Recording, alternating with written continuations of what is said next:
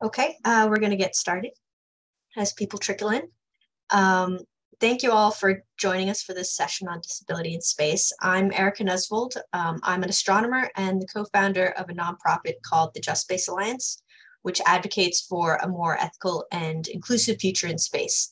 So there were some great talks yesterday in, in one of the sessions about the importance of including ethics in our conversations about space. And I think it was Mark Kelso in particular who mentioned the value of um, diversity and inclusion in the space field, um, which I was happy to hear because um, that's related to what we'll be talking about today.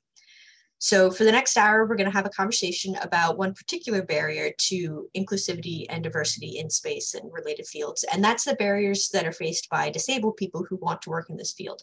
Um, we'll be taking questions, uh, we'll be answering questions at the end of the session, so um, please feel free to type them into uh, the Whova app or the Zoom Q&A and we'll get to them at the end. So to start off with, um, I just want to have my panelists introduce themselves to you. Um, I'm just going to go in the order that you're appearing on my screen. So uh, Lauren Lee Hallett, a couple of quick sentences to uh, tell us about yourself. Um, hi, everyone. Um, so I'm Lauren Lee Hallett. Um, I do different things in life. I did a lot of space law and policy, and I still love to write about this. Right now, I'm more focused on cybersecurity since I recently became a consultant. And I also uh, try to do uh, advocacy on neurodiversity, especially in the workplace. Thank you, Lauren. Um, AJ Link, you're next on my screen. Hey y'all, I'm AJ. I have on a gray shirt with white text that says support the troops and it has some stormtroopers underneath. Uh, I have a pink hat on and a beard. Uh, I am based in uh, Anacostia and um, Piscataway lands. And I do disability in space as part of the Astro Access team. We just had a press release uh, this week, which is pretty amazing. We're having our second zero G flight uh, I am also the director of the Inclusion, Diversity, and Equity in Aerospace Task Force at the University of Mississippi Center for Air and Space Law, and I am a professor of space law at Howard University Law School, among other things. And I'm really excited to be here today. Thank you for having me. Thank you, AJ. Uh, Moesch.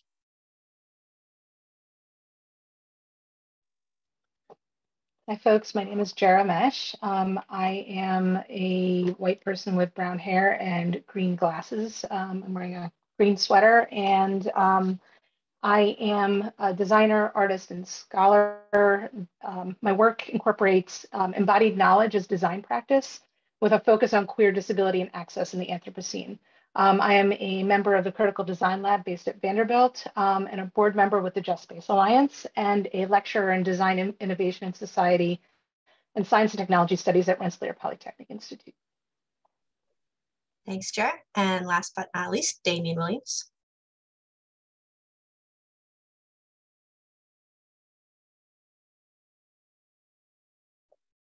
Damien, do you want to introduce yourself? Hi, everyone. Um, my name is Damien Williams. Um, I'm a black man with uh, glasses. Uh, my hair is shaved on the sides and uh, naturally long in the middle. Um, my uh, I'm wearing a black shirt button up with a purple paisley tie. Um, my uh, work is in the ways that marginalization affects technology um, in particular, I think about the ways that marginalized identities are and aren't represented within artificial intelligence and algorithmic systems. Um, but I also talk about the ways that uh, space access and uh, human biotechnologies intersect with the concepts of marginalized lived experience. Um, I'm also a board member of the Just Space Alliance, and I am currently also an assistant professor of philosophy and data science at the University of North Carolina, at Charlotte. Thank you, Damien, and uh, thank you, everyone. So um, to start off with, usually when I have these conversations about disability and space, especially space travel, um, many people that I talk to tend to think of disability as just meaning the inability to pass one of those really rigorous NASA uh, physical and health screenings that astronauts have to go to. But today we're going to be talking about disability on a broader scale. So I'm wondering if um, one or more of you could talk about your definition of disability in the context of this conversation in particular. And I want to start with uh, AJ first, because I know you, you gave me a great definition earlier. Hey, y'all, this is AJ. I think oftentimes when folks think of dis disability and, and being disabled, they have an extremely narrow view. Um, but disability can be an identity that people self-identify with, so capital D, and it's the experience of going through a world and a world that has tons of barriers, right? Experiencing ableism, um, whether or not you're diagnosed with a specific medical condition um, or even impairment, you know, based on the language that's in the law, um, you can be disabled, right? You can you can be disabled by spaces that don't allow you access. Um, you, can, you can be disabled based on your daily experience. I think um, part of disability inclusion in space is having a broader industry understanding of what being disabled means and it's not always self-identification right you know some people may have a disability and may not view themselves as capital d disabled and i think it's really important that we have these nuanced conversations about how people identify themselves and how people uh, want to to i guess experience and and move through the world. And i think more disabled people in the aerospace industry would be helpful. Um but even if there aren't more disabled folks we still need to be having these conversations that we can work on including them. Thanks aj um, does anyone else want to comment on this? Um, and your definition of disability in, in the context of space? Uh, lauren um, I'm jumping a little bit on what AJ just said. Yeah, this is Lauren speaking, by the way. Um, I feel like we're seeing now recently, um, for example, initiatives by ESA to have the Parastronaut um, program. And I know that the UN also organizes some event about space for disabilities or something like that. But as was said, it's it it keeps a very constrained idea of what disability is. And I feel like we can think, okay, it's nice because we have measure uh, initiatives that talk about disability and include dis disabled people or people with disabilities. But in the same times, because it's always focused on the same um, disabilities or the same constrained idea of disability, it reinforces cliches that people may have and that, you know, when they see or hear about disability, they see a wheelchair. And so I feel like it's we, especially in, in space flight or in the space sector in general, really need to understand that um, basically, as AJ said, that uh, disability is not just like one thing, but it's like there's so many people that have disability as part of their identity and that see differently and experience differently. So it's important to yeah, widen our um, understanding of disability. That's a great point, Lauren. And um, for audience members who aren't familiar with the, the reference to the ESA Parastronaut program in particular, uh, that's a new program that the European Space Agency um, was welcoming applications for last year, uh, where they were inviting people who um, were qualified candidates for their astronaut program but had certain disabilities that would disqualify them. Um, they were inviting them to the, apply for this program with the goal of, quote, defining the necessary adaptations of space hardware. But they had a very specific list of disabilities, as you mentioned, Lauren. Um, they were looking for people who had um, lower limb differences or leg length difference, differences or a, uh, a height below 130 centimeters, which is four foot three. Um, and, and that was it. That was the entire list of disabilities. Um, but this leads into the next question I wanted to ask, which is that um, so for most of the history of human spaceflight, astronauts have had to pass these really rigorous physical screenings um, just to be accepted as an astronaut candidate. Um, and that is very slowly starting to, to change, uh, especially with um, the increase of private space travelers. Um, for example, Hayley Arceneaux was uh, the chief medical officer on the Inspiration 4 mission, which was the first all civilian spaceflight last year, and she has a prosthetic uh, bone in her leg. She was the first person to fly into orbit with a prosthesis. Um, and so I wondered if any of you wanted to talk about any uh, of other examples of, uh, of this slow increase in accessibility to space. And um, AJ, in particular, if you're curious, uh, if you're interested, I'm curious uh, about uh, talking about Mission Astro Access, which you mentioned in your introduction.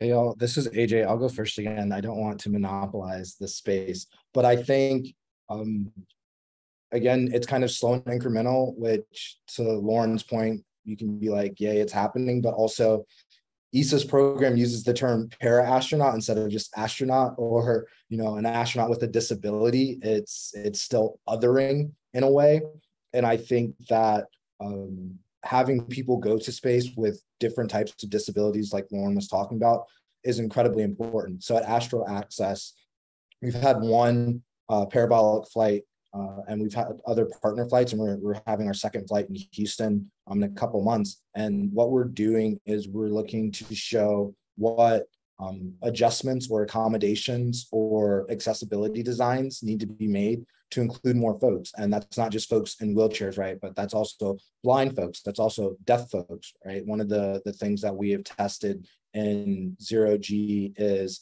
how do people read sign language? Is it is is it possible to understand sign language from different um, vantage points, right? Like uh, upside down or, or sideways or whatever? Is it still legible? And I think you know the push is, happening, but in so many ways it mirrors the disability rights and disability justice movements um, that happened prior to us getting to space rights. It's, it's very slow, it's very incremental, and it's it's frankly just not enough and and it's underwhelming. And i know there are a ton of people in this space doing the work like we have a whole panel which is great but we still don't have openly disabled folks who are going into space long term and it not being something that is special or different you know um, the same way that now that we have women going to space i know we're, we're really celebrating the first woman going to the moon but we have you know a history of lots of women going to the iss right? You know we have the, the horrible history of, of women getting like 100 tampons for a week or whatever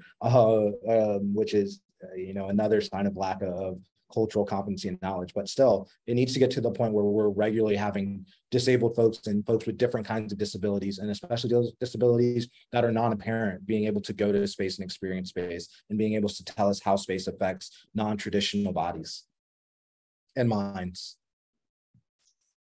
Thanks, AJ. Um, you mentioned uh, Astro Access helping to for us to understand uh, how to better design uh, for accessibility in space, which I just think is a fascinating topic.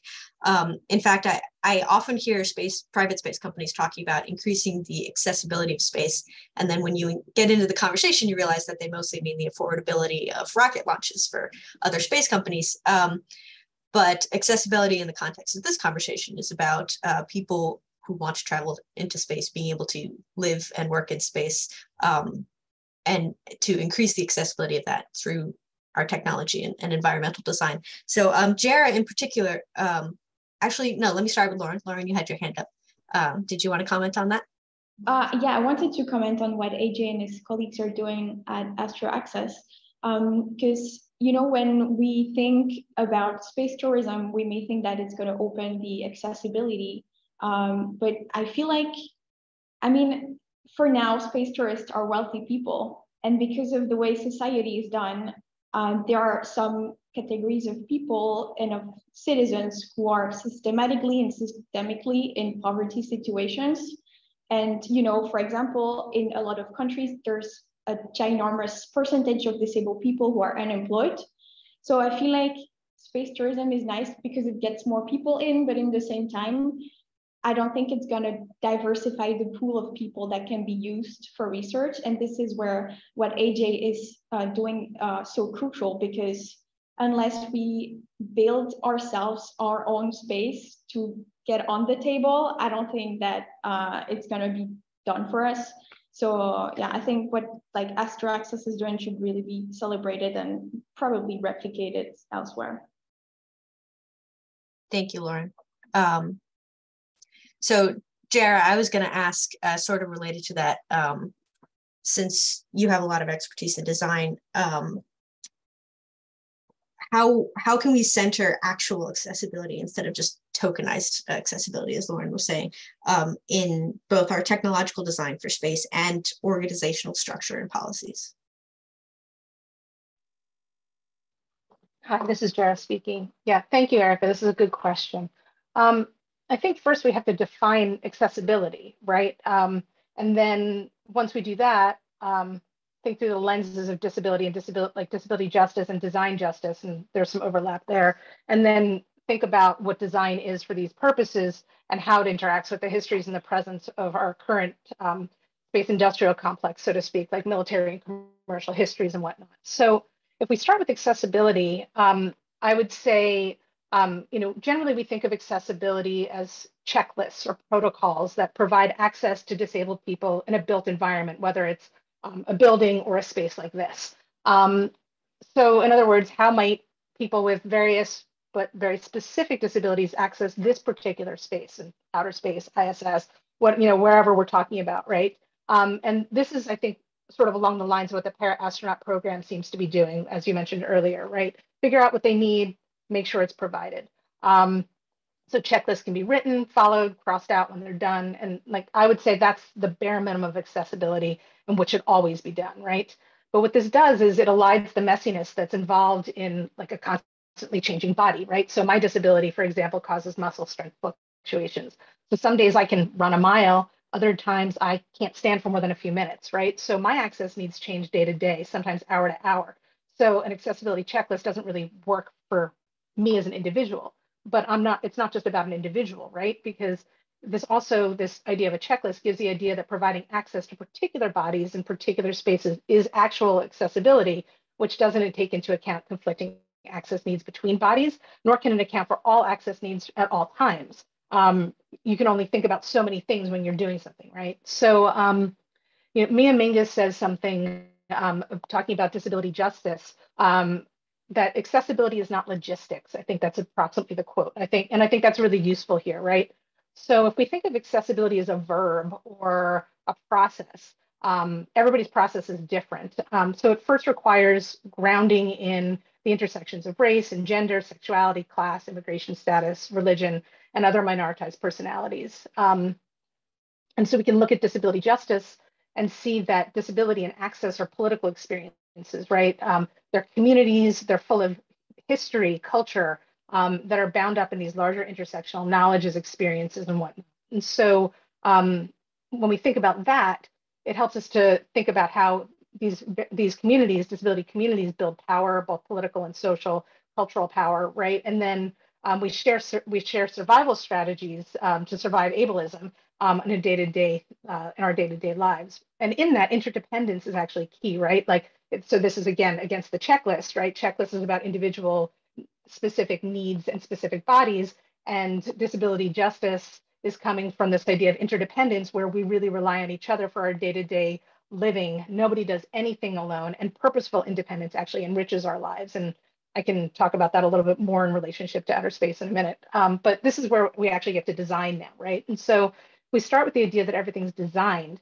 Um, space exploration isn't any different, right? Except that it's maybe more particular than you know your iPhone, right? It's got more specificity, more intentionality, um, and it's expensive, right? And difficult to accomplish. So it's designed for very specific needs and very specific bodies. Um, and so, like the rest of design, though, it's it's understood as solving a problem. Um, but the problems that are solved um, with space exploration, when it's focused on people who are able-bodied on Earth, but particular backgrounds, certain types of knowledge, and not others, is very different than the political experiences and communities full of history, culture, and legacy um, that uh, the, disability is coming from, we can see that um, if we center disability um, as disability access um, in this way, if everything is designed for us from those perspectives and knowledges, we're going to have a very different, uh, different way of understanding. Um, and I think I would say, like, what is it that we actually want to get out of space exploration, right? Um, and that helps us to define our access, right? And so um, what happens if we, you know, what ruptures might happen if we um, if we step back, if we take a pause and say like, what might work for the future? What is it we want? Um, maybe it's withdrawing from space um, entirely. Maybe it's going back to our roots. Um, Fred Sharman has a project uh, called the Non-Human Autonomous Space Agency, I think it's called, um, and it takes it takes us back to the first Earthlings in space, which were dogs, monkeys, and rabbits, not humans, right? So, so in this project, um, it imagines it imagines the experiences that would be possible if we had um, dogs, monkeys, and rabbits going back into space using things like Twitter, right? Um, so it's sort of a you know designing a different future, designing a different kind of space exploration, and sort of rethinking this you know very able-bodied specific human experience in space. Um, and so um, you know, I run a, I teach a class on this also um, where we design outer, like our outer space experiences. And um, students have come up with generational shifts that include two families from every country on Earth, um, a communication system that not can only communicate with each other, but also back to Earth. Um, so the technologies, the built environment, but also if somebody if somebody's in you know on this generational ship and somebody uh, their loved one passes away on Earth, um, and they're three weeks into a six month trip, do you tell them? right? What does that communication look like also? So it's all of those things together, which is all about access in this sort of um, how, how we design access into a system. Just because you can do something doesn't mean you should. And just because you don't do something doesn't mean it shouldn't exist. And I'll just throw it back, I guess, to everybody here, right? Like what might what might the design questions be um, for you, right? Or what kind of what would design questions look like from a disability culture and justice perspective um, in terms of a different space future? That was kind of long, but I'll stop there. No, that was great, Jarah. And in particular, I really take your point about uh, checklists because, uh, in my experience, people who work on the engineering side, especially in human spaceflight, they love checklists, right? It's a big part of the safety culture in particular. And so, um, being able to step back from the checklist mentality of accessibility is really important. Um, Damien, did you want to comment on anything? Yeah, hi, this is Damien speaking. Um, I wanted to kind of play off of a lot of the points that have been being made. Um, our, our conversation about the, the representation of disability, the, uh, the, the, slow progress that's being made, um, as you were just saying, Erika, moving away from the checklist model, um, the, the design justice aspects of this that you were talking about, Jarah, like all of this um, in specific, Jarah, the things that you were saying about um, seeing accessibility as a process, um, I think reflects a lot of what you were also saying about, you know, how the changing state of bodies is very rarely taken into account for this. Um, disability is a process in many, you know, many ways, many framings, in many cases. The existence of our bodies and the state of our uh, capabilities and uh, accesses within the spaces that we exist will change as we age, as we move from one space to another, um, just randomly, in some cases, with no real knowledge as to how or why, things change.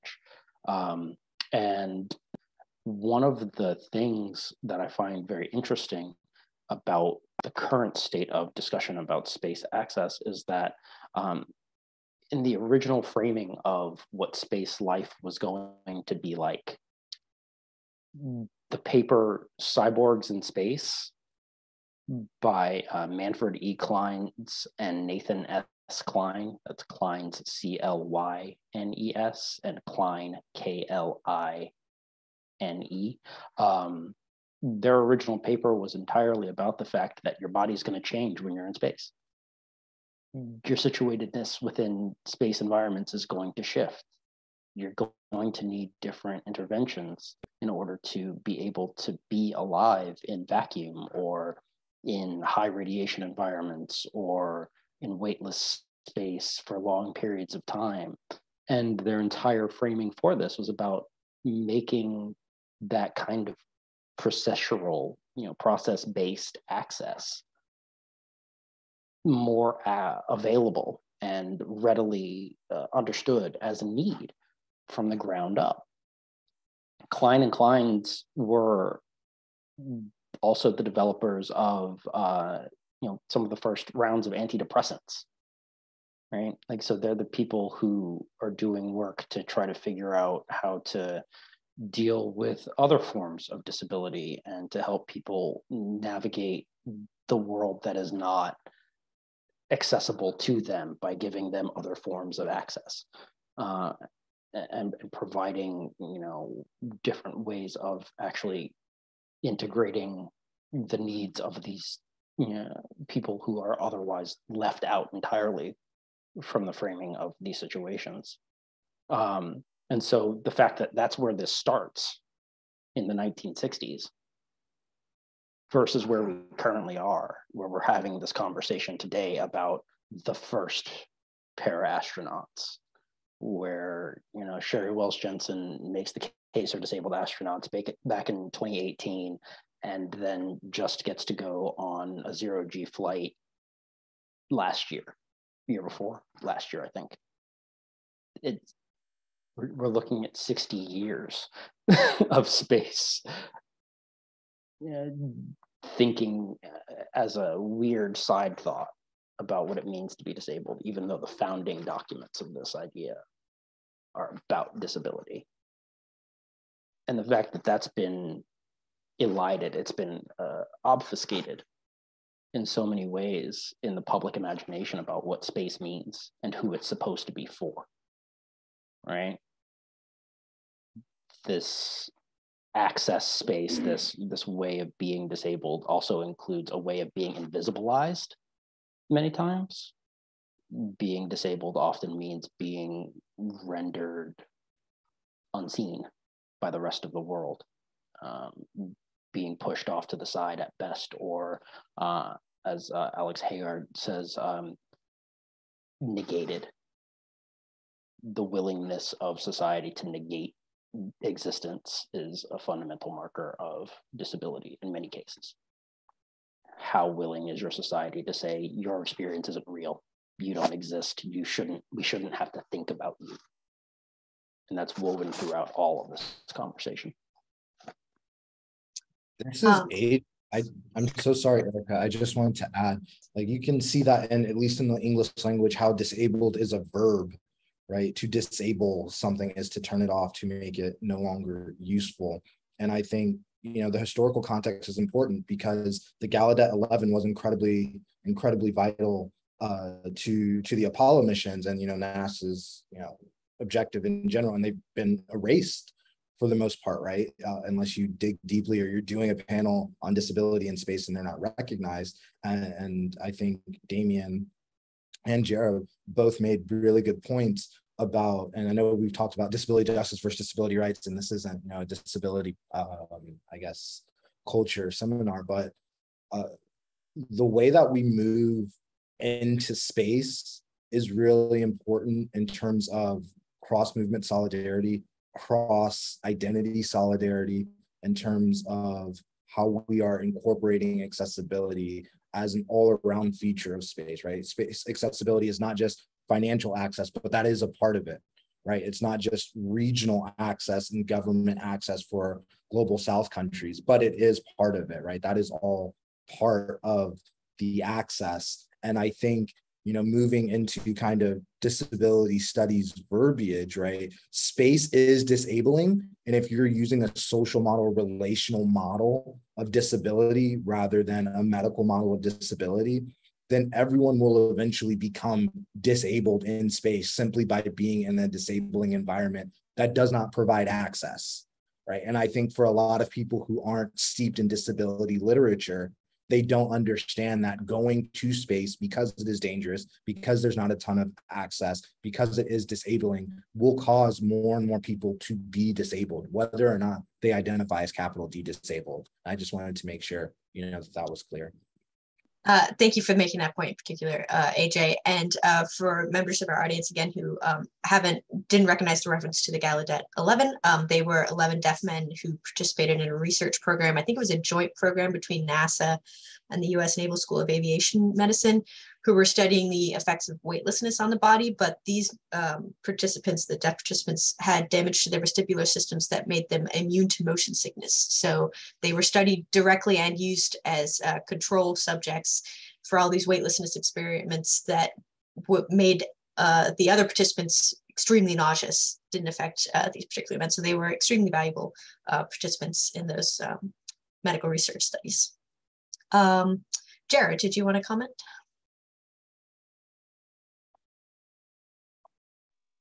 Yes, if my uh, screen would actually, yes. So um, this is Jarah. Um, I was, AJ said something that just made me think about, um, you know, other other technologies, uh, design technologies um, that um, are centered through disabled people. And this is a, so Robert Heinlein wrote a story called Waldo back in the 1940s. And um, it, Waldo is uh, Waldo has myasthenia gravis, which is actually the disease I have. um, and so um, they in the book they create something called like that's a, a Waldo, which is a like a, a, remote access hand essentially. And so that has become something that even NASA uses now, right? These remote manipulators that are developed. And so the idea is that with myasthenia gravis, you don't have a lot of strength, so you need something else to help you. And so that's why he was using he was in outer space and he was using these Waldo's to do these really big projects he couldn't do with his own strength. And so now NASA actually uses those. So it's coming from this sort of disability, like this disability, this disabled person or chronic illness person's um, experiences, and then it became something that's in, you know, that the character becomes this real life, um, this thing that's now in real life, right? And so I think about like what what else might we learn from um, disabled designers themselves um, creating and thinking through the things that might be useful um, in you know in a in a low gravity environment. So just a sort of side thought. Thanks, Jar. Um, Lauren, did you want to say something? Yeah, super quickly, building on what was said, I just wanted to uh, taper sur le clou, like we say in French, so like put an emphasis on the fact that generally speaking, but especially in space, when we start to make accommodations for disabled people or people with a disability, it ends up benefiting everybody especially because everybody can become disabled from one day to another, whether it's because, as AJ said, space is disabling or because something happens to them. But I think people need to understand that it's not just something that benefits us, it will be good for like citizens as a whole. Great point. Um, so um, I wanted to, to pick up on something Damien mentioned a few comments ago um, about, uh, we, we've mostly been talking about physical disability in the context of space travel, but there's also a lot of barriers to working in space for neurodivergent people as well. Um, and I think that a lot of these same conversations can be happening um, about neurodivergence and, and, those kinds of non-physical disabilities as well, uh, both in terms of designing for accessibility and inclusion, and also the, the benefits um, of learning you know the benefits for all of us um, from learning how to be inclusive for those people. Um, Lauren, uh, you I think have made a great point when we were talking earlier about uh, the potential benefits of neurodivergence for space travel. Do you want to expand on that a little bit? I think uh, having divergent, uh, like diverse group of people in general can only lead to innovation. If you have just one very homogeneous group of people uh, in a in an area that is particularly innovative or that has to be innovative like spaces you need diverse people and i think that neurodivergent people uh, i mentioned that because i'm autistic so that's i'm talking i guess from my point of view but um, i feel like it's very important and the problem is that usually um, when we are included we're included in a very specific type of role which is usually like, oh, you're probably good at catching bugs. So we're gonna make a program for autistic people uh, in like an IT program. So I think there's like a series of cliches that happen in like general society that permeate through the space sector that really should be rethought. I think, I mean, I think disabled people in general can serve in any way they want in the space sector. They don't have just to be uh, guinea pigs for research. They can do whatever. They can be a CEO. Uh, they can literally. We, I think space is so important, such an important sector, so innovative. We need everyone everywhere, and we should really stop. You know, I feel like sometimes inclusion can be forced, and so it's like, okay, we need a quota of this kind of people in this department, and we really need to to be when we say we're going to be inclusive be actually inclusive. And um, yeah i don't know if that answered the question but that's the answer. That was great answer. Thank you. Um, aj did you want to follow up yeah this is aj i also want to point out that there's still several intersecting identities right so elon musk is has said that he is is autistic that he's on the spectrum right? But is that actual representation of what other autistic people experience in the workplace, um, especially if you don't have enough money to own and create your own companies, right? Uh, if you're if you're not white, if you're not rich, um, you know, autistic autistic women, non-binary, um, autistic folks, trans folks. I think to the question about what does it mean for space, something that is really important is that we have different types of um, not just neurodivergence, but personality types, because we have to understand how space affects all of humanity. Maybe space is really beneficial for for introverts and people who do not like a lot of people and a lot of commotion. You know, maybe space is really, really bad for extroverts if they're locked in a very tiny ship for three to six months at a time, right? Maybe people who have mental health disabilities like anxiety or depression are affected differently in space long term than people who do not have those mental health disabilities. I think the inclusion of those folks, like Lauren said, is incredibly necessary to understand how the broad swath of humanity is going to exist long term in space, if that's what we choose to do. Um, to to Jarah's earlier point, you know, if we even decide that that's the right thing to do. Great point. Thank you, AJ. Um, Damien, you have your hand up. And this is Damien. Um, the conversation here, like the, the question again about representation in a kind of thoroughgoing uh, full way rather than this kind of tokenistic uh, ideal of uh, you know if we get one of this person and one of that person then everything will make perfect sense and we'll have you know again like you said you know we'll have all the boxes checked right? Um, what, what lauren and aj are talking about here especially is this notion of actually having a broad swath of intersecting interoperable disabilities to be able to have not just a checkbox, but an actual conversation about access needs. As Jarah was talking about earlier, you know, this the the kind of um, when access needs are at odds, right? You don't when your when your check boxes don't necessarily uh, line up properly. Um, you know, you you can't just say, um, well, we have uh, yeah the the entire space is a quiet space, um, but also that makes it dark. So uh, we're going to put bright lights in it, and then uh, you can have it quiet, but it has to be bright.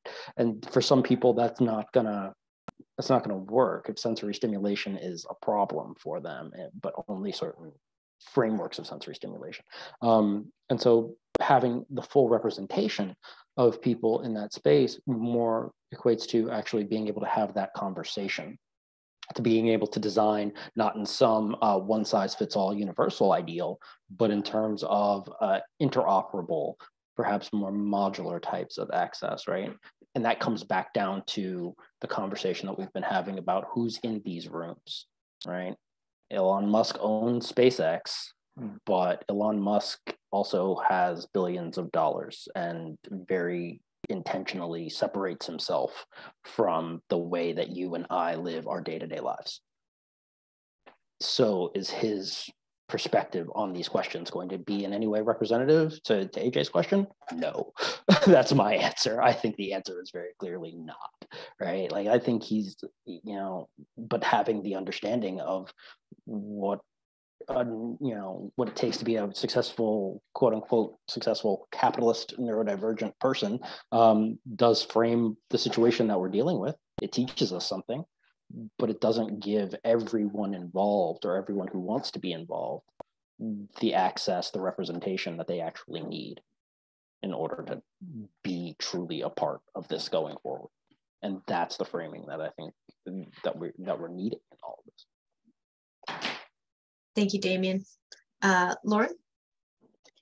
Um, building on what AJ said about um, not just including disabled people or neurodivergent people, but also different type of personality, it made me think, you know, sometimes when you read about um, human space flights or I don't know, life in a submarine or something, you can usually read that, you know, constrained spaces really have a bad effect on people's mental health. And um, if you're in the ISS, that having a delayed circadian rhythm can also affect your mental health and lead to violence. I mean, take a person with ADHD, they probably live their entire life in a delayed circadian rhythm. So they're probably already a bit used to that. I mean, as an introvert and uh, autistic person, I thrive in super small constrained spaces. I love that. It just makes me feel super comfortable. So I think um, if you include these people, the research will look entirely different. So I think, you know, like we have a conception of what human space flights or just like space is in general and what it does on people. Uh, but I, I think, you know, it's only a fraction of the reality. Thanks, Lauren. Um, so, so you some of you have touched on this a little bit. I, I've mostly been framing the question from the start of this conversation um, about disabled people traveling actually to space and the, the barriers um, and the designs involved with space travel. Um, but most of us who work in, in space in a space related field are never actually going to travel for space. So I'm curious um, what kinds of barriers have you all seen or experienced for disabled people who want to work in the space field here on the ground? Um, and how can we increase accessibility um, for those people in, in our industries and, and not just for the astronauts? And I'll open this up to any of you. Uh, AJ. Hi, all. This is AJ. I think one of the very first things that we we need to recognize is that disabled people do work in space. Whether or not they're open and self-identify is different. Whether or not they're comfortable or feel that there's a stigma around being openly disabled is very different from them you know experiencing disability in the workplace.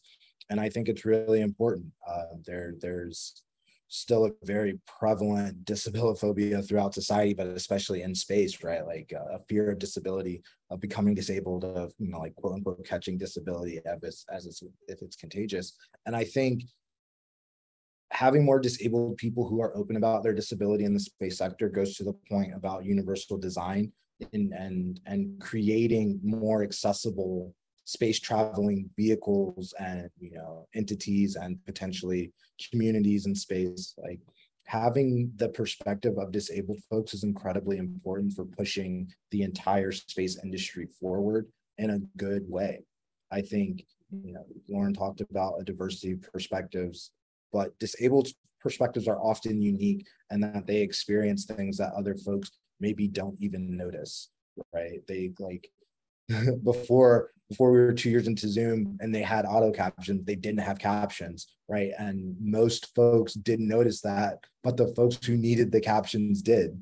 Uh, and now we have that, you know, on all the Zoom calls. You know, the same thing like television, right? Um, universal design is so beneficial to so many people, but to to to Jar's point, it often comes from the experience of disabled folks demanding accessibility right? Unfortunately, that's just where a lot of universal design and, and inclusive and accessible design comes from is disabled folks mentioning and outing a barrier to access and asking that it be removed. And so I think that's incredibly important to have, not just for your engineers, right, disabled engineers, but for your disabled uh, artists, your, your concept design folks, right? Your long-term planning folks about how we're going to create a sustainable company that can employ disabled folks and do it in an equitable way where we're not pushing them out and marginalizing them, where they're we're allowing them to, you know, achieve uh, career success and, and move up the career ladder if they choose,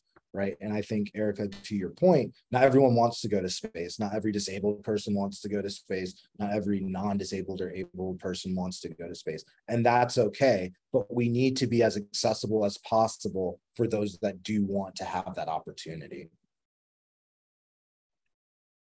Thanks, AJ. Um, I'll also just mention that there's um, a very well-known pattern in accessibility, accessible technology design, I think that I've seen before, where young, enthusiastic non-disabled people want to help, want to make accessible technology and immediately design something, a prototype of like a wheelchair that can walk upstairs. When in fact, the people who use wheelchairs are not interested in that. They're interested in more accessible building design, for example. And I think that's another reason why it's important, not just to design for accessibility in space, but to make sure you're including disabled perspectives in this. Um, Damien. Yeah, that is the um, the what uh, Natalie Kane calls uh, means well design. Liz Jackson calls the disability dongle effect. you know, it's uh, it does nothing. It it looks like it applies to a problem, and the intent is good, but it's not really doing anything because nobody actually asked the people that it's supposed to be for what the heck they actually need or want in the situation. Um, and that is, I think, yeah, it's ex- as you were saying, it's exactly reflective of the situation. You know, the, question of who is in the room when these decisions are being made, who is whose voices are actually being not just uh, again not just tokenistically put into place, but heeded when concerns are raised, who has actual decision making capability, who has uh, oversight capability within these frameworks, within these systems, um, and who has the you know the responsibility for ensuring that that kind of access, that training level, that administrative level, that uh, oversight, and uh, I guess uh, yeah, I guess we'll call it oversight access level uh, authority is in place. Uh, because ultimately, if the people who are making the, the decisions about what the design teams look like, about what the uh, the building and engineering teams look like, don't have an understanding that they need to be thinking about these questions from the first place, then what is going to happen is that they're going to put together teams that look exactly like they look now and we're going to continue to have these exact same problems. So it can't just be a conversation about how do we train our engineers better. It has to be a conversation about how do we get the administrators who are making the decisions in the first place, the educators who are doing the educating of the engineers in the first place, to be thinking about these questions, to be conversant in these topics so that they can be thinking about who's in that room who's asking the right questions, who's posing different ways forward that will actually meet the needs of disabled people. Um, Lauren, did you want to comment? Um, yeah, to come back on the original question of how to increase accessibility in as in space professions. Um, if you think of a space job as a stage in your life, uh, probably it's not going to be the first stage. Uh, so there's going to be a series of stages. And as a disabled person, probably you're to have to face the same um, obstacles every time. So if you want to, you know, improve the accessibility of a space job, you also have to improve all the stages that come before. Um, if you think about a building and you open the door on the fifth floor, but all the stairs before that are like broken, it's not going to do anything. So I think it also has to be integrated into like a broader accessibility and like education um, perspective, I guess. Great point, Lauren. Thank you. Um, so let me ask this question because we're at a conference uh, supported by the Policy Studies Organization. So um, in terms of policy, let's say everyone on this call agrees with everything we've just said. What can they do about it? How can we approach accessibility from a space policy perspective? Um, does anyone want to comment on that?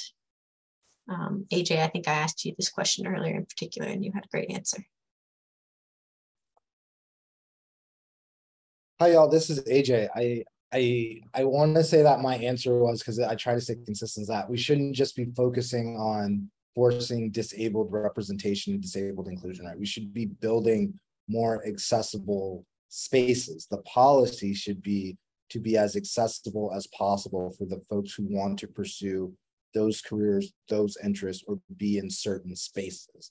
And then people can self select about where they want to be. Unfortunately, most of society says that they self select when they don't because there are so many barriers to access that people cannot get into institutions, power, decision making rooms, etc. And so I think the policy and, and the policy quote unquote fix is to just create a more accessible society. Again, that includes financial access, that includes access to resources, whether they be monetary resources or non-monetary resources right if we really understand what access is going back to accessibility and access being a verb right? Then we are really really digging at dismantling so many different barriers whether that is racial barriers whether that is uh, systemic misogynistic barriers for non-masculine bodies and expressions of masculinity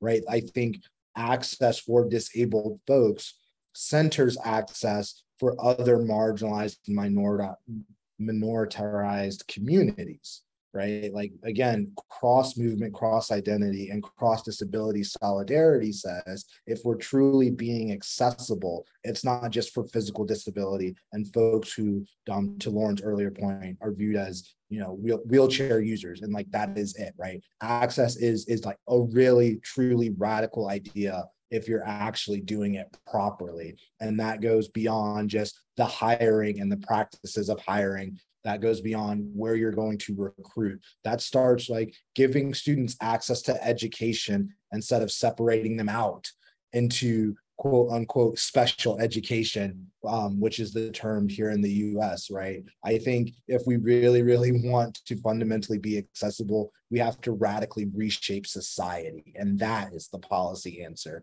And that's just, that's beyond policy, right? That is like society at its foundation. Uh, and I hope that is the answer that I gave when we were asked this question before we jumped on the call because I try to be consistent. But that is the actual answer of how you do it. And uh, that's an excellent answer, AJ. Thank you. And for those of you who cannot see the video feed, uh, Jarah and Damien are just cheering silently behind their mutes right now. So uh, Jarah, I'm going to call on you next. Yes. Uh, AJ, thank you. That was exactly uh, amazing. Um, that's exactly it. Um, and when you tell students this, so I teach students, um, you know, in a design in design studio courses, and we build a lot of things um, over a, over a four-year program. When you tell students that we have to change society, they say, but I'm not in a position to do that, right? And they say, well, you know, the company I'm working for is going to tell me what to work on, right? And so this gets back to talking about who's in the room. So what I tell students is, okay, so what can we do in the interim? You, if you say you have no control over these bigger policy questions, what can you do? And one of the things we're going to, one of the things we do is we say we have to bring inter like we have to bring groups of people, very diverse groups of people into the room, but not just to listen to them. We need them to tell us what to do. We need them to become the designers. Um, disabled people are designers, um, hackers, makers. Um, things are so inaccessible that you figure out how to do something and you share it with a friend, and then they share it with another friend, and it becomes part of that disability culture.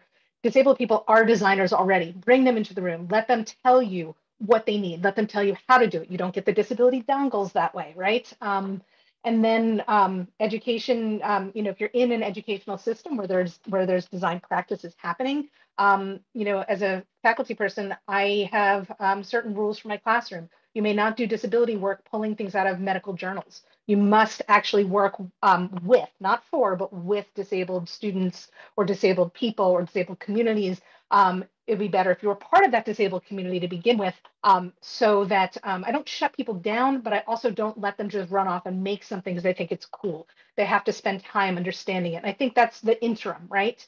Um, because then my students go off, they become designers, engineers, business people across, you know, across huge corporations. And then they may not have a say right now, but it's in the back of their head.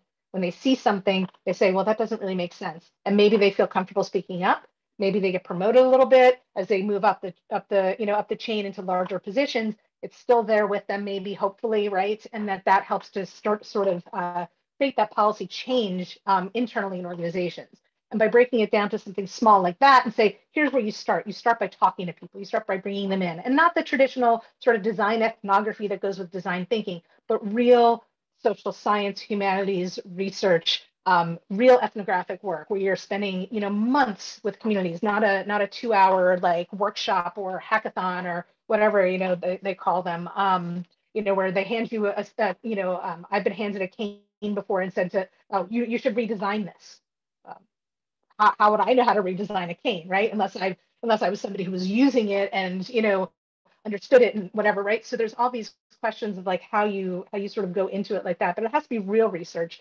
um, real work with communities and um, and then having those people who come in to work with you be the ones that actually create the the work. And you as a designer are um, and yeah i see somebody said autoethnographic. Yeah and autoethnography is a way to do it as well right? Um, but when you bring people in you're the facilitator as a designer you're not the person coming up with the idea and i think that's key too um, to think about it think about yourself as facilitator rather than um, than a, than you're in service to the people who have the need you're not the person creating the idea yourself.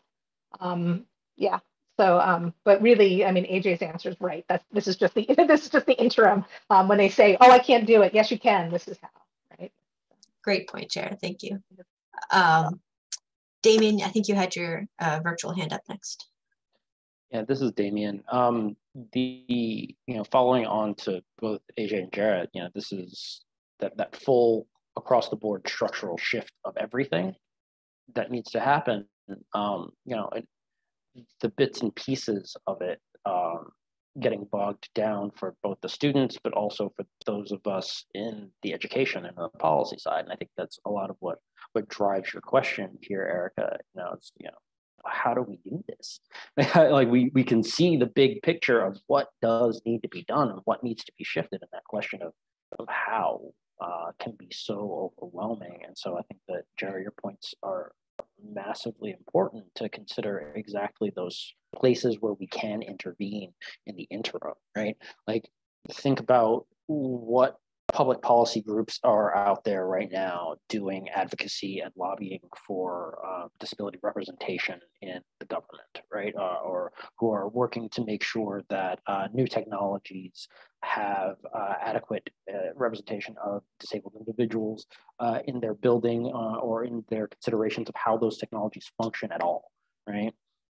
The FTC is doing work with uh, you know privacy concerns. Those privacy concerns also overlap a great deal with the things that we've been talking about, like uh, you know surveillance access, disability access, um, who's who's being watched and monitored more often than whom, right? The, those questions of the, the disparately uh, marginalized experience of technology. So that work is being done in certain spaces, and we can find places where we can link in with them and we can amplify that work. We can lend our effort to that work. We can try to change the way that uh, classes are built, right? We can change the, the educational requirements. We can make pushes just even within our own universities or you know school structures to try to push on the way that we talk about how these things are built, how these systems exist.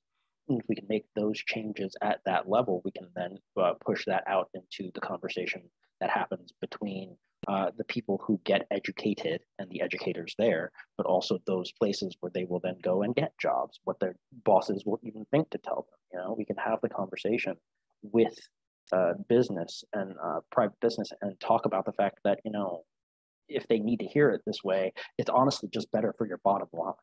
Right. And we can have a conversation about how if they don't have to spend their time and their effort fixing their, you know, their, their mess ups on the back end, they can in fact just keep going in a different way. They can build differently from the ground up and not have to worry about the bad pr the uh, millions of dollars spent in recompense when you know something disables someone further uh, when it doesn't include a disabled person's experience in a way that it should have from the beginning. We can push on these existing spaces, these existing frameworks, and we can lend our efforts to them. And we can build on that from there, and we can amplify public awareness. We can use the amplification of public awareness as a point of pressure. We can mobilize. We can, uh, you know, do a kind of uh, collective advocacy that allows us to build on the power of all of this desire to do this work, this drive that people have to do this work, but that is oftentimes uh, at loose ends. It's, it's, it's at loose ends. It's siloed. People have the drive, the idea, the, the wantingness, the willingness to do it, but don't necessarily know where to start.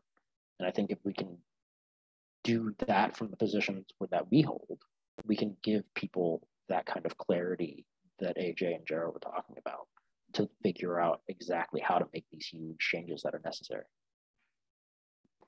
Thanks, Damien. Um, I'm going to call on Lauren next, and then after that, uh, we're going to take some questions from the audience. So be thinking about and typing in your questions now.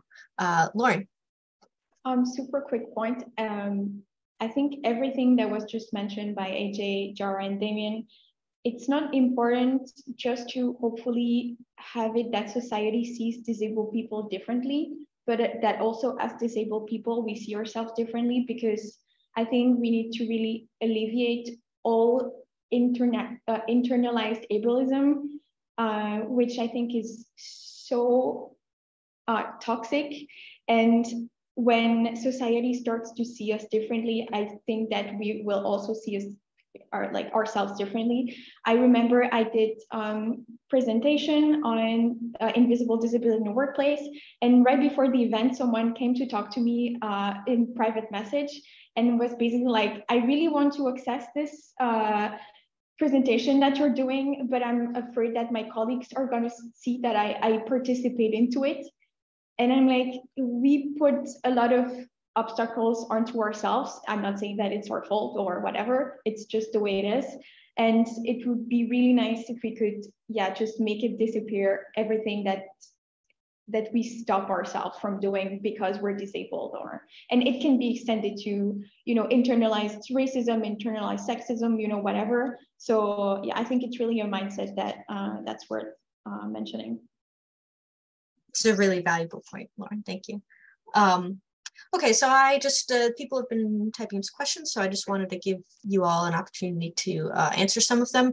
Um, one that I'm looking at right now is from Benjamin Rackley, who says, uh, the FAA has a big hand in certifying people for flight. Is there any discussion with them about certifying people with disabilities for flight, for example, someone on ADHD medication? And I think this is interesting question in the broader context of there's a lot of organizations that already have really stringent physical requirements or rule out people with certain disabilities, including the military, where a lot of astronauts came from in the first place. So how do we shift or work with these these agencies or shift away from them um, as we're trying to increase accessibility in space? Um, any of you have any thoughts you want to share on that? Damien. This is Damien. Uh, this gets to that point that we were just you know, just having a conversation about, frankly. This requires a systemic shift. It requires an across the board change of uh, how people in those spaces think about what it means to exist as a part of those organizations, right? Um, so you have the military, uh, where, as you said, a lot of uh, a lot of astronauts come from the military.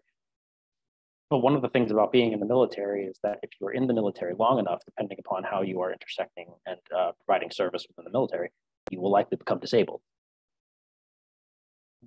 The United States military, especially, spends uh, billions upon billions of dollars a year dealing with the mental and physical disabilities that result from military service. Whether they deal with them well is a totally different question, but they have to spend the money and so much of what they're currently doing is once again about this kind of post hoc, after the fact fixing of a problem that they allowed to come to be in the first place. Where if they were to consider differently what it would take to have that access in place from the get go, it wouldn't necessarily prevent the disabling effects of military service, but it would have in place for them a framework, a system, which would be more easily linked into than what they are currently trying to do. And that goes for the FAA, that goes for pilot certifications, that goes for the entire idea of what it means to have the quote unquote right stuff to be an astronaut, right? If you have this framework at the beginning where it's only about perfectly able bodied, non disabled people, then everything you do is going to be an attempt to fix, quote unquote, fix something that has gone, quote unquote, wrong, rather than recognizing that bodies change and that we are putting bodies under tremendous pressure. And the body mind is going to shift under that pressure. It is going to change under that pressure. And it needs to. And that, that's something that we just should be aware of and thinking about from the outset changing the ways that we think about what it means to be certified for this kind of service in the first place is fundamental to that.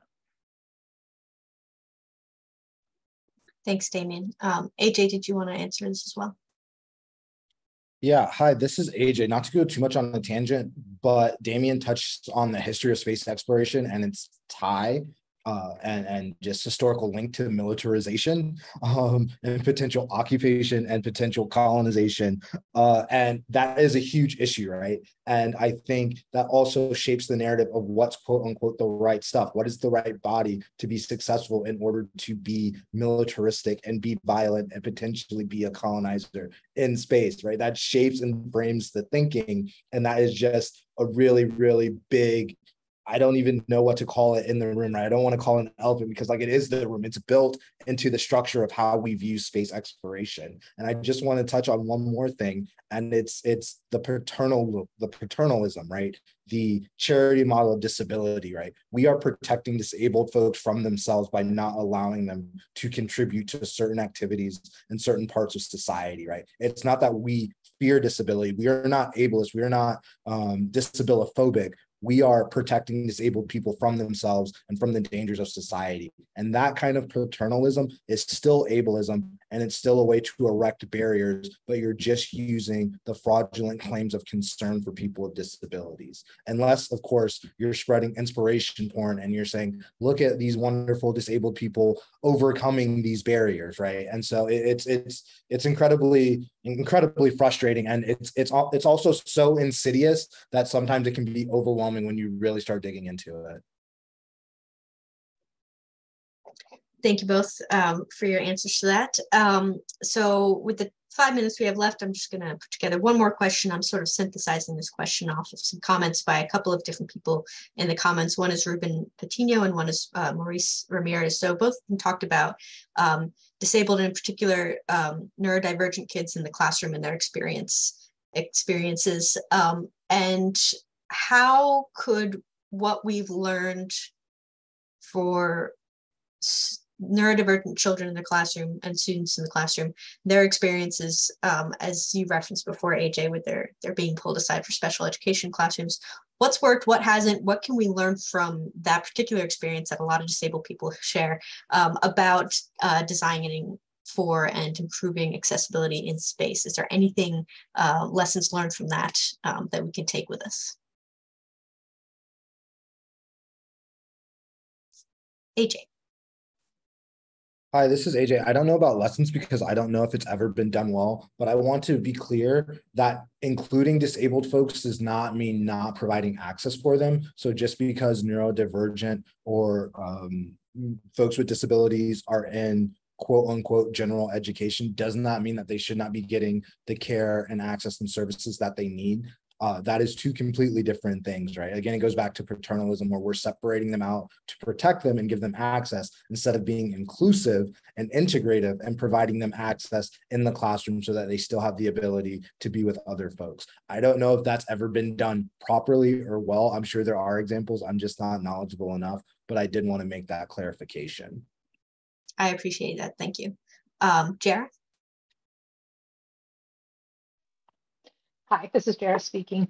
Yeah, um, I can't speak to like the K through 12 model, um, but I can speak about higher ed a little bit, um, which when we think about um, how the classroom is set up, right? So everything from the actual physical space, right, the access to that space, to um, you know people's comfort in that space, to the kinds of readings, to the activities, um, to exams, right? So all of those kinds of things play a role in terms of you know neurodivergence anxiety, physical access. Um, the you know the the room I uh, the design studio I work in, the tables are um, about three and a half four feet high. Um, so you have to sit at a high stool. There are no backs on the stool. So physical access right off the bat, right? Um, what kinds of activities as an educator am I providing? Um, I don't give exams. I don't give quizzes. Um, I have never, in all the time I've been teaching, done that because I don't feel that that's uh, uh, that's accessible to most people. Um, every single student in my class can turn in things um, and say, I'm not done. Here's the assignment. This was the due date. I'm not done. Here's what I've done so far. Can I get feedback? Um, if you can't or if you can't write um, well, um, you feel like you can't write well, if speaking is more your key, set up an appointment. You can do your assignment verbally with me. So trying to set up the kinds of access that make it inclusive for everybody. Every single student in the room, regardless of whether they have you know documentation with the accessibility office or not i don't care you can give me that that information i'm happy to take it i'm happy to work with you But if you don't have that information, you still have access to any of these things because people learn differently anyway. And so by trying to change the entire um, the entire space, the entire learning environment to a, to a way of enabling people to do the work in the ways that they do it best um, is going to give students the ability to work how they feel they can. And they can do their best work that way. But the problem is, is I'm in higher ed, and that's not the way it is before they get to me. And so, and right now I'm at a pretty elite institution. Um, I've worked at state schools, same thing, right? To get into a, you know, it doesn't matter what school you're at. If you're at higher ed, the amount of people that can get to higher ed, especially if they've been sidelined or told they can't do something, or if they've been, you know, um, they've been mainstreamed without the right support, then they're not going to be able to get to where I am anyway. So I think again, what do we do in the interim is we have to figure out ways to get to those students who uh, and in the same way, right? So what can I do as a as a educator in a university? I can get outside of the university. Where can I go to do that work? The design work I'm doing with college kids I could do with second graders too. I mean, it's it's not um, you know it's about enabling students to be able to think for themselves, enabling people to be able to think for themselves and decide what's important to them, right? And that model I think actually would work as well. So I think it's up to those of us who are already doing that work to figure out how to bring it to other other spaces and places outside of the outside of the uh, traditional educational system. Yeah, end of thought. Thank you, Jarah. Um, we're right at the end. Uh, Lauren, you still have your hand up. So if you want to give a, a quick answer, I'm happy to let you uh, have the last comment here. Yeah, just wanted to build on what was said again. Um, I think making things inclusive for the entire community as opposed to making accommodations, but only by separating you from the community is such the way to go be because in my example, for example, at uni, I had the right to ask for accommodations, but I felt super ashamed to have them. I felt like I was given a free pass and I was scared to talk about it with my peers with my you know fellow students. So i was just isolating myself just praying that no one notices that i'm not in the big room with everyone and that i'm in another room. So i feel like it's yeah it's so important to to make things accessible by integrating you to the community rather than marginalizing you even more Thank you, Lauren. Um, and uh, AJ, I'm sorry, I think we're out of time and I think we're gonna lose the room. Do you have uh, like a quick comment you wanna make? Yes, this is AJ. I know we're out of time, but I wanted to flag for Maurice that I'm not really interested in diversity and inclusion and equality because that is forcing it upon people. I am interested in access to spaces. Not everyone wants to be forced to be included and be tokenized. Not everyone wants to be in a forced diversity climate. Sometimes you want to be in a climate that is not diverse and around your own community, and that is okay as long as you have access. I'm also interested in equity, not equality. Uh, but that is it, and I'm happy to close it. Thank you, AJ. And thank you all uh, for your fantastic uh, discussion conversation. I really enjoyed this. And uh, thank you to those of you uh, who attended. Um, and uh, I hope you all have a wonderful rest of the conference. Thank you. Thanks, everyone.